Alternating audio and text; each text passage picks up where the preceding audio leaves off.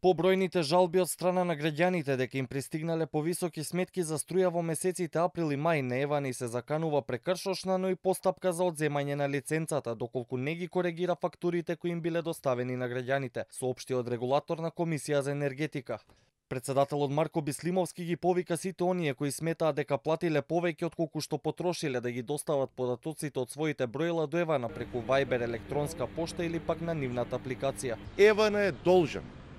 по добивањето на овие податоци од потрошувачите да им ги коригира нивните фактури за електрична енергија и при тоа